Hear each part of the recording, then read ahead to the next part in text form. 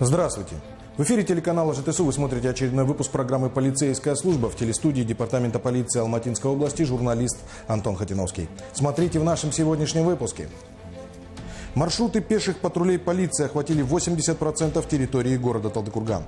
Доездились. С этого года к нетрезвым водителям будут применяться самые жесткие меры наказания. Очередной любитель погонять под шофе может присесть в тюрьму лет на 5. Киллер задержан. В качестве подозреваемого в материалах уголовного дела по факту убийства военнослужащего в Талдыкургане фигурирует его сослуживец.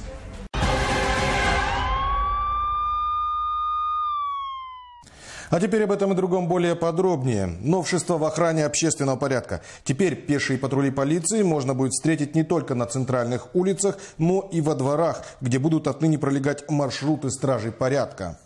Во время гарнизонного развода комплексных сил правопорядка начальник департамента полиции Алматинской области Серик Кудибаев отметил, что появление пеших патрулей полиции, в которых задействованы почти все строевые подразделения, будет уже профилактикой. До сведения патрульных групп перед заступлением на службу были доведены ориентировки на разыскиваемых лиц. Напомнили и о необходимости быть предельно вежливыми и внимательными при общении с гражданами. Под контроль пеших патрулей взято почти 80% городских территорий. Только в прошедшем разводе приняли участие свыше 200 полицейских полицейских. Э, нами было проверена ситуация в городе Талдыкурган и разработаны дополнительные маршруты патрулирования.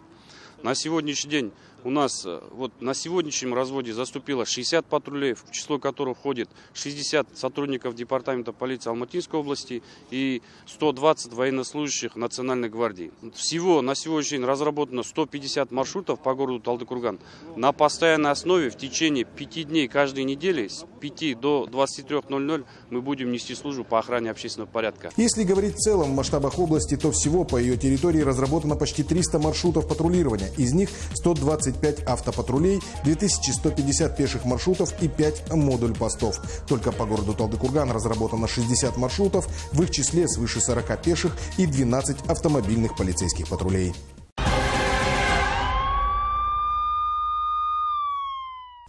Превентивные мероприятия и оперативность – залог успеха в полицейской работе. На территории области стражи порядка проводят сразу несколько ОПМ по различным линиям служб. Особое внимание к участникам дорожного движения. На территории всей республики проводится оперативно-профилактическое мероприятие «Бурышкер». Только за 4 дня было взыскано в бюджет государства административных штрафов на сумму свыше 3 миллионов тенге. Как показывает практика, многие автолюбители, нарушившие правила дорожного движения и получившие за это административное взыскание в виде штрафа, не спешат его оплачивать. У некоторых суммы денежных взысканий зашкаливают за сотни тысяч.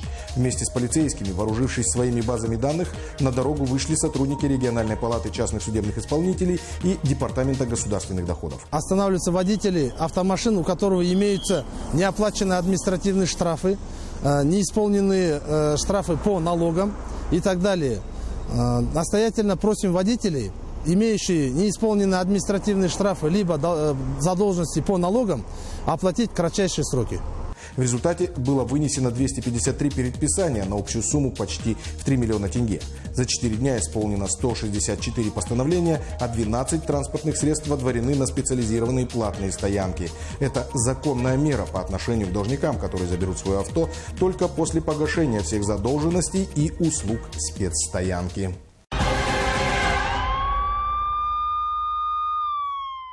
Почти 20 минут пришлось гоняться патрульным полицейским на своем служебном автомобиле по заснеженным дорогам за внедорожником, управлял которым нетрезвый водитель.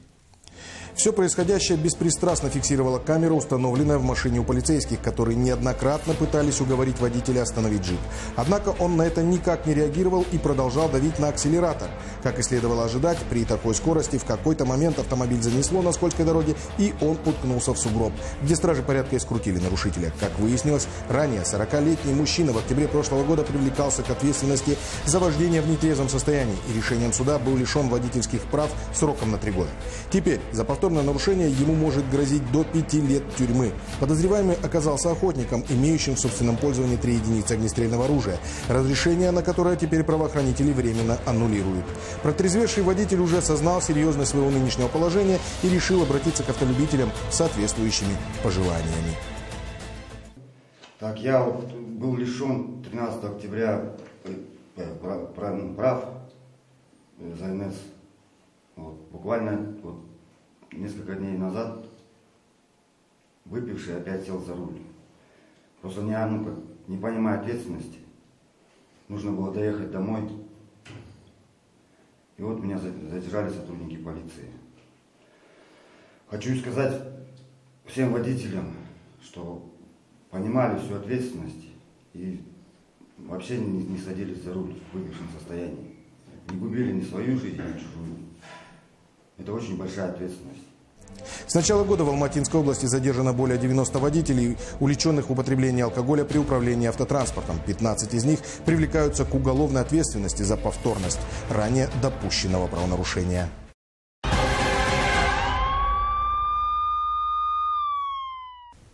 18 нетрезвых водителей выявили на дорогах Алматинской области за двое суток проведения оперативно-профилактического мероприятия «Безопасная дорога».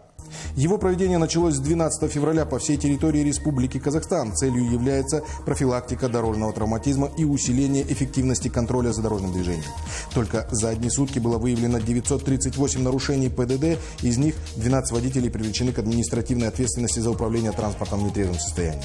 Составлено 43 протокола в соответствии со статьей 612 части 1 КоАП РК за управление транспортными средствами лицами, не имеющими прав на его управление. Оформлено 86 протоколов за превышение скорости, 97 за нарушение правил пользования ремнями безопасности. Привлекли к ответственности и 135 недисциплинированных пешеходов, нарушивших пункты статьи 615 КоАП РК. Департамент полиции Алматинской области призывает всех участников дорожного движения не нарушать правила дорожного движения, быть бдительными на дорогах и проявлять взаимное уважение, соблюдая скоростной режим.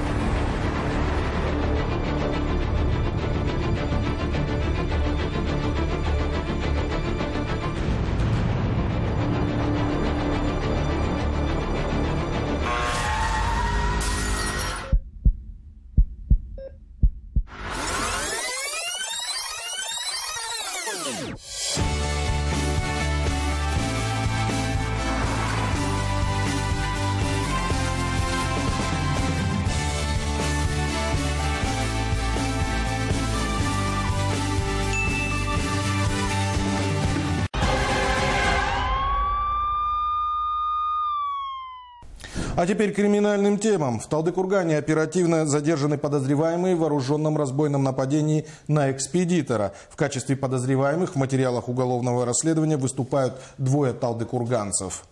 29 января в полицию поступило сообщение о разбойном нападении на экспедитора одной из городских торговых компаний, которому двое неизвестных нанесли ножевое ранение и завладели наличностью на сумму около 1 миллиона тенге. Поднятые по тревоге полицейские в течение нескольких часов установили и задержали подозреваемых в тяжком преступлении. Установлены и задержаны двое жителей города.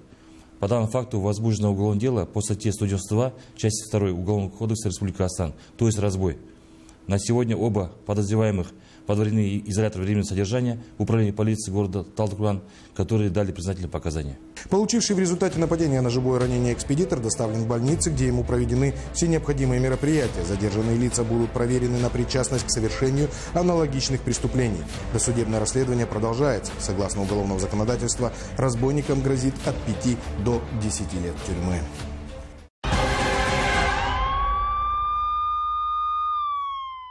Почти месяц потребовалось стражам порядка на раскрытие тяжкого преступления, совершенного в областном центре. Это убийство получило большой общественный резонанс. Данное происшествие имело место в микрорайоне Каратал вечером 24 декабря прошлого года. В городскую полицию поступило сообщение об обнаружении трупа мужчины с признаками насильственной смерти.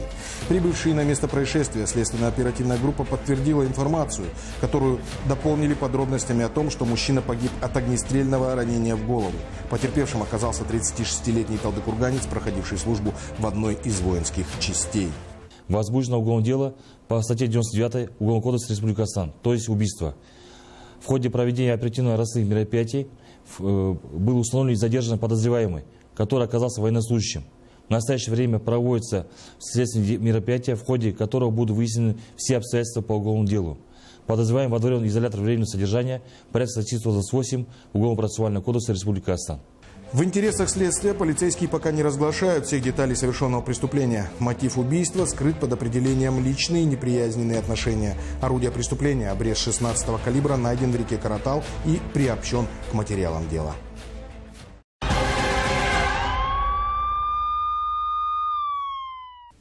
В ходе спецоперации, проведенной областным управлением по противодействию наркобизнесу совместно с сотрудниками патрульной полиции, из незаконного оборота изъята крупная партия наркотиков.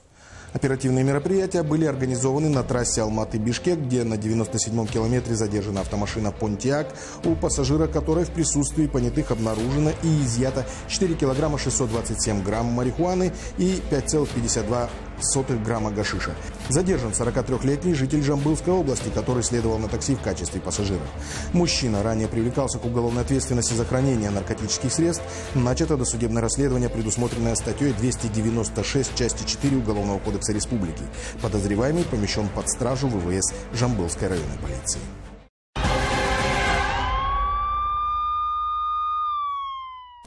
На этом очередной выпуск программы «Полицейская служба» подошел к своему завершению. Будьте бдительны и помните, что только сообща мы сможем навести общественный порядок.